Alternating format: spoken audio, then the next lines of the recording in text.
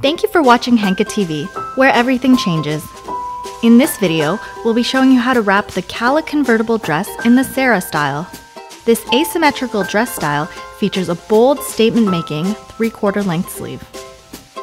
Start by putting on the dress with one sleeve on. Put the other arm through the neckline of the dress. Flip the sleeve that you are not wearing inside out and tuck it down into the dress.